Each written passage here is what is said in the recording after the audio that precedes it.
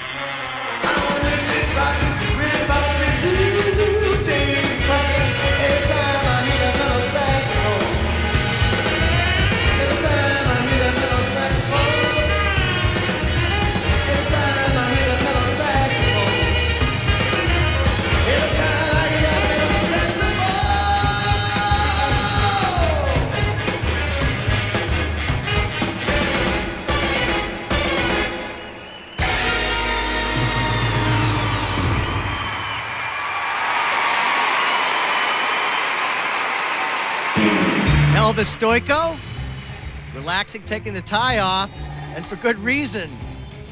Olympic gold medalist Katarina Witt. Think of this for a minute. Between these two people on the ice right now, seven world championship titles, two Olympic golds, and two Olympic silvers. Pretty impressive.